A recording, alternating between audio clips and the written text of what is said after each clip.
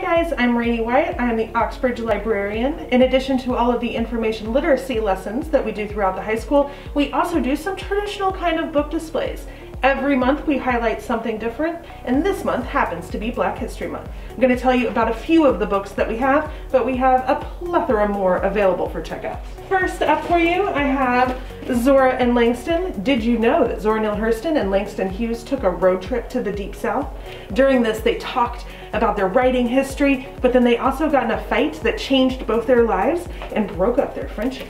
Our next book is Heart and Soul by Kadir Nelson. It's the story of America and African Americans. Kadir Nelson is an author and an illustrator, and his illustrations are beautiful. They're all, all originally done in oils, um, full size, and then he puts them into the book. Our next book is How Long Till Black Future Month.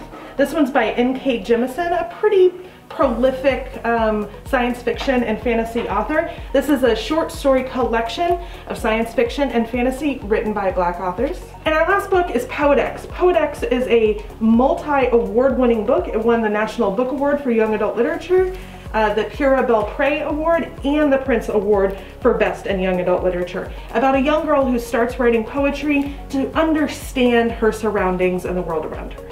Come check out our display in the iCommons and check out a book to honor Black History Month.